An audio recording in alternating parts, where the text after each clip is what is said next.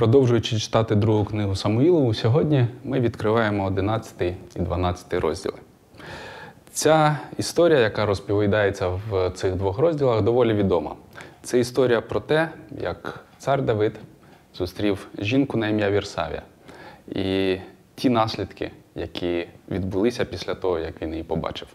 Починається історія такими словами: сталося по року, у час виходу царів на війну, послав Давид Йоава із своїх слуг, і з ним та всього Ізраїля, і вони вигубили амонітян і облягли рабу. А Давид сидів в Єрусалимі.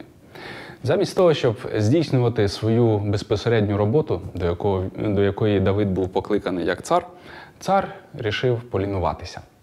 Він відправив все своє військо, всіх своїх вояків воювати з ворогами, але сам вирішив залишитись вдома, лежати у ліжку аж до вечора і гуляти вечорами, розглядаючи з е, своєї, е, своєї криші е, околиці, де купалися голі жінки. Замість того, щоб робити свою справу, Давид допустив ситуацію, в якій сам наразив себе на гріх. Часто в нашому житті, коли ми лінуємось, ми даємо гріху можливість війти в наше життя. А потім, так само як і Давид, е, нерідко намагаємося приховати цей гріх. І через це йдемо ще до більших гріхів. Ми бачимо, що ця історія е, показує далі ті наслідки, які Давид зазнав через свій гріх і спробу їх приховати.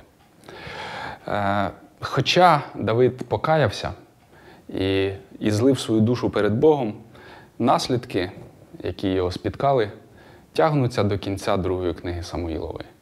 Більшу частину життя він бореться з тим, щоб їх подолати.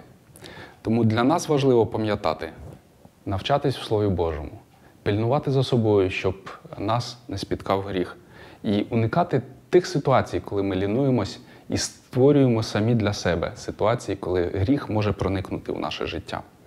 Додатково рекомендую прочитати Псалом 50, де Давид кається перед Богом за е, гріх, який він зчинив, і картає себе через те, що він допустив цей гріх в своєму житті. Тож пильнуємо себе, читаємо Слово Боже і будьмо вірними йому.